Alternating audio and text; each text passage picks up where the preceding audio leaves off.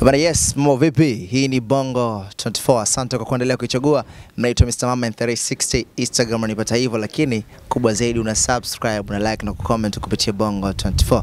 Liko na my brother PNC legendary katika mziki wake, alikuwa akituimbia sana kipindi hicho, lakini pia backup za sasa hivi kurudi katika ta, katika mziki wa town. Tupiga naye story afu tutajua mengi zaidi kuhusiana naye. Bana PNC vipi? Ah, kama kawa niambie. Fresh.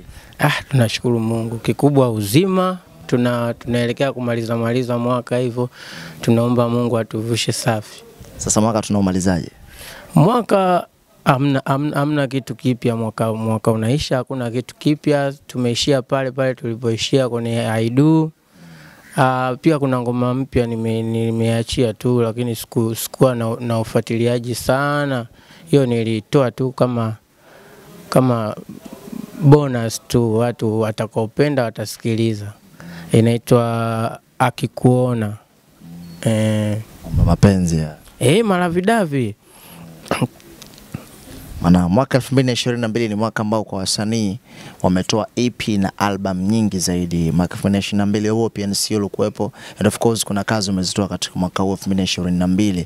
Kwa nini nawe hukuingia katika hizo lesi za kutoa EP na album au labda maandalizi pengine tuyategemea mwakani? Unajua, mimi nimeanza kujaribu ku- kujikokota kokota kwa katikati, naona mwishoni mwishoni mwa mwaka huu hapa. Kwa hiyo mpango wangu kabisa mzuri ambao nimeupanga kuanzia mwezi wa kwanza unavyoanza, Mungu akijalia tukavuka salama, ndio na mpango na mimi wa kuja kufanya I- EP hiyo. E, nije niachie na mimi EP nione inakuwaje, lakini mpango wangu kabisa ndio huu hapa. E, Kumekuwa na mwamko sasa hivi kwa wasanii kwamba akitaka kuachia EP au album lazima afanye zile launching, kualika medias and of course kualika baadhi ya wasanii na watu wengine katika industry kuhakikisha kwamba mziki tunazidi kubusi na uzidi kwenda mbali zaidi. Amefika mbali Ahmed Dimpoz kwamba uachiaji wa albamu yake alimuita mpaka rais mstaafu Mheshimiwa Kikwete. Pengine na wewe upo katika plani zipi kwenye kuachia kwa EP au albamu yako za mwakani? E, bahati nzuri wanetu mpo tu, tu, tunao wanetu kibao tu. Kwa hiyo itakapofika tunapoanza mwaka na mipango yote itakuwa imeshakaa sawa. Kwa hiyo mimi najua kabisa mpaka tunavyoanza mwaka nilivyokuwa nimepanga plani zangu zitakaa sawa. Kwa hiyo ndo, ndio kitu kikubwa ambacho nimekiplani tu ni kuachia IP na hakikisha na mimi pia iweze kunisogeza sehemu moja au nyingine, watu waweze kuona ah, kuna nguvu kidogo imeongezeka kwa huyu mtu, kwa sababu ni muda mrefu sana watu wamekuwa wakiona na, najaribu na suasua najaribu na suasua hivyo hivyo, lakini na, nataka nijitahidi mwaka unavyoanza kidogo kuongeza nguvu kidogo hata ya kujikokota mimi kama mimi, watu waweze ku, iweze kuwafikia watu wengi sana kazi yangu sahihi Mm. Mziki una timu nyingi zaidi na management zinahusika zaidi kwenye kuwaboost wasanii kuweza mziki wao kufika mbali zaidi. Utakuwa upo katika management gani ambazo PNC utasema akiwa hapa, of course mambo yatakuwa mazuri? Management zangu mimi ni nyinyi, ni watu wangu nyinyi wa karibu ambao mmekuwa mkinisapoti kwa hapa na pale. Kwao siwezi jua mpaka mwaka unaisha kuna watu gani nitakuwa tayari nimeshakaa nao sawa, ambao mimi mwenyewe ninawafikiria kichwani, kama wakieleweka, kuna vitu vinaweza vikawa vimeongeza nguvu zaidi hapo. Kwa hiyo tu, tu, tusubirie tuone mwaka unaisha unaanzaje. Yani kikubwa tu, kuna watu pia nimeshakaa nao, tuna seti mipango tu, tuone kama haitabuma eh. Tumemwona Inspector Harun lakini pia na Juma Nature wamerudi na ngoma yao ile ambayo ilishaimbwa huko zamani, sasa hivi imerudiwa tena. Kuna vitu vimebadilika, eh, tukizungumzia video na baadhi ya maneno pia katika audio ile, na tumeona supportive kwa wasanii wakubwa including Damo Platnumz, naye alisupport akasema itapigwa sana hii ngoma, na nasemekana kwamba wale tayari kuna management inaweza kuwa support mwana hata Mwijaku aliwahi kulizungumzia hilo swala. Sasa wasanii wa zamani mna kawaida kuwa mnakutana na kupiga story nyingi sana, pengine tayari eh, kwa sababu ni management ambayo inaweza kuwarudisha wasanii wa zamani, pengine na wewe bwana PNC tukakukuta na kina Juma Nature. Ile pale ni management yao. Mimi naongeaga sana na Inspector aruni mara nyingi wa, alinipa mchongo wote kwa mimi. sasa hivi tuna management hapa na pale, kuna, kuna mtu yupo anatusapoti tuweze kufika sehemu kubwa zaidi. Kwa hiyo nikawa nimemwombea nime- tu Mungu bwana awasaidie waweze kufika mbali, kwa sababu kama watu wale ni, ni wakongwe wenzetu wali, wame, walikuwa wamenyamaza kimya kwa kukosa nguvu fulani, lakini wameipata Sasa hivi wanaanza kuwaso tena, mambo yaende sawa, na nguvu wanao kabisa. Sasa hivi naona wanapiga pamba, wana wanashaini kabisa, mambo yao yanaenda vizuri, bosi inaonekana mtamu. Kwa hiyo nawatakia tu kila la heri kwa hapo walipofikia, kwa hilo zali walilolipata. Naamini Mwenyezi Mungu akijalia, wale wakisimama vizuri, hawezi wakatutupa hata na sisi ndugu zao wengine. Kwa hiyo kikubwa, wanapopata mwenzako inabidi umwombee ili aweze kufika sehemu moja ambayo ni kubwa, ili hata mwenyewe ukiwa unahitaji msaada wake hata kuna kolabo, wakati unamhitaji kwenye kolabo hapa yeye wa moto sa wakati huu hapo inakuwa ni rahisi, kwa sababu anajua kabisa hawa huu ni mtu ambaye tumetoka naye wapi. Kwa hiyo mimi na- nawatakia tu kila la heri. Kikubwa hiyo management yao isiwe management ya, ya, ya leo na kesho, yaani iwe endelevu ili iweze kusaidia zaidi na zaidi wasanii ambao walipoteza matumaini ya, ya, ku, ya kufanya kitu fulani. Kwa hiyo kama itakuwa vizuri zaidi wa- wa- wa- awashikilie vizuri kabisa washikaji waweze kupiga hatua ili na sisi tupate moyo zaidi. Hata hiyo management huwezi jua baadaye itakuja kutusaidia vipi na kina sisi, kwa sababu naamini mtu akiamua kusimamia marejendari ina maana anajua, anajua uwepo wao na anatamani hata siku aweze kuwavusha wale, aweze kuwavusha na watu wengine pia watakaofuata. Inaweza ikafuatia kwangu au kwa watu wengine, ikawa vizuri tu. Tunaombea tu management yao iwe nzuri, sio ya kusuasua ikaishia njiani. Uh, kizazi cha sasa hivi kimebadilika kwenye mziki. Sasa hivi kuna mziki wa streamers, mambo ya audio mark, mambo ya boomplay huko, sijui Spotify, mm. Apple Music sasa hivi, na vijana wengi wa sasa hivi wamekuwa wakisikilizia zaidi mziki huko, tofauti na vile ambavyo eh, wazee wetu sisi walikuwa wakisikiliza miziki yenu. Sasa hivi ut, utakuja na aina gani ya mziki na styles ambazo utaendana na huu mziki wa kizazi cha streamers wa vijana wa sasa hivi?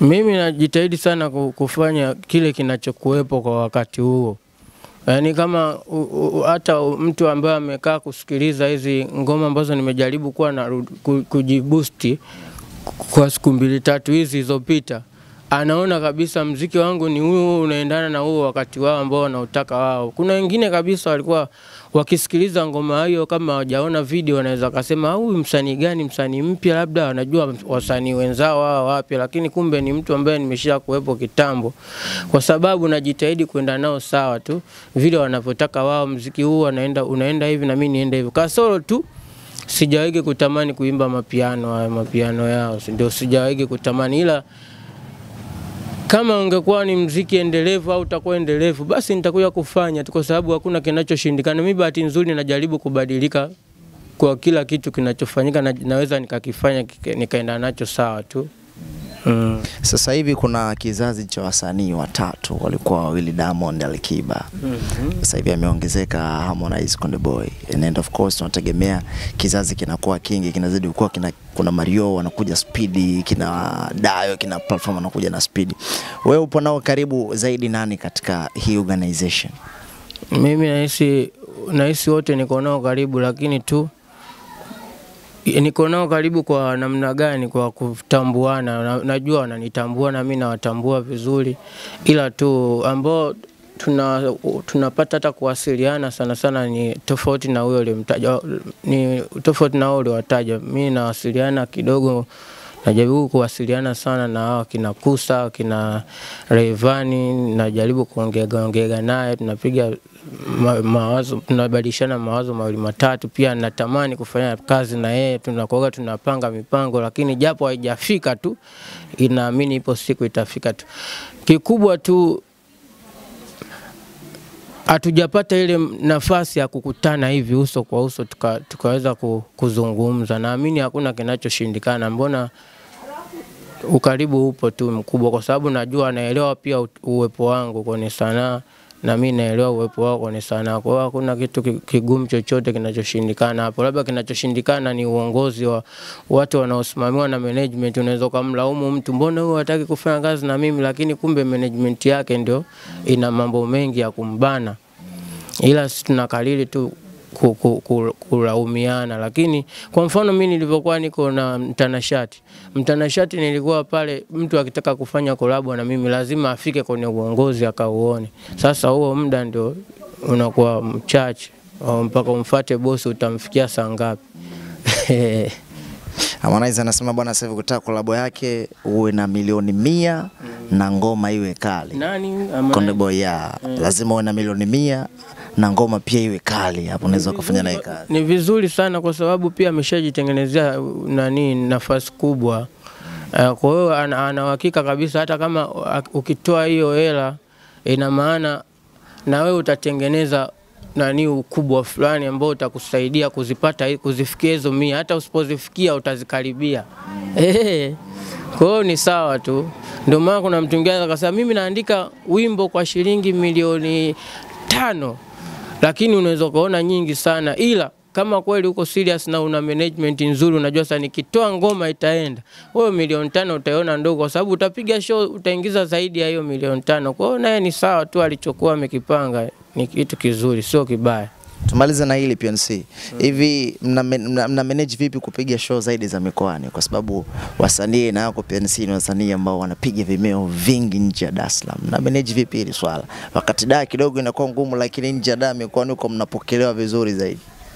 Eh, yani ni kama Jay-Z akiwa huko kwa na, nani tufanye tu akina jaruu huko huko kwao, inawezekana kwa sababu tu ya heshima wanaopewa kule, lakini pia hata wenyewe pia wakija huku tunafurahi tuna, kweli, tunaona ni, ni bab kubwa, lakini wenyewe wanaonana kule kawaida tu. Sasa sisi tuko hapa hapa kwenye jiji la joto hili, tukipita huku Vingunguti hapo Buguruni pale tu huko Kawe, mnachukuliana poa poa, lakini ukienda mkoani kule ndio unaonekana jiga Eh, kwa hiyo kule ndio kule tunapendwa na sisi, kuna mashabiki zetu mkoani huko, watu walikuwa wanakusikia tu kwenye viredio vile vya mbao, saa ingine wanasikiza kule, wanakusikia tu sauti yako. Mtu mwingine anajua inavyo- inavyosikika sauti, akiifungua redio hapa atakuona humo kwa ndani. Sasa sembuse tumeenda kabisa live, lazima watatupenda tu, watashangilia show zetu, au unasemaje, blaza Mtanga? Eh, ndio hivyo. Malizana na mashabiki zako kupitia Bongo 24. Mashabiki zangu bana, mi napenda kuwaahidi tu, mwezi wa kwanza tuta- tutajaribu kufanya kitu, tutajaribu kufanya kitu kwa nguvu zetu wenyewe, tushabikiane, tupeane sapoti za nguvu ili tuweze ku, kufika sehemu fulani. Najua wengi sana wanatamani nisiwe nakuja na kupotea, nakuja na kupotea, wanatamani kuona yani PNC kanyanyuka tena, yuko kwenye moto hatari. Inawezekana ni nyinyi wenyewe tu. Pia mnaweza mkanifollow kwenye kurasa zangu za Instagram, natumia PNC underscore TZ. YouTube channel yangu natumia PNC TZ, Facebook natumia PNC TZ. Karibuni sana ndugu zangu, tuwe karibu ili tuweze kupeana info mbili tatu. Naweza nikaposti jambo langu pale mka, mka, mka comment na mambo mengine akafuatia mkawa mnapata habari zangu kiurahisi. Eh, Bwana, huo ni my brother PNC. Nyinyi mnasema kuna wasanii wanaojua kubembeleza picha kwa PNC kule mziki wake, alafu utaona mziki mzuri. Mimi nilishapataga mtoto mzuri kupitia mistari ya ngoma zake tu, nakupa ah, eh, ngoma zako zote bwana. Hii ni Bongo 24, mnaitwa Mr. Mamen 360 Instagram, ni hivyo. Asante kuendelea kusubscribe, kulike na kucomment. Mpaka wakati mwingine, chao.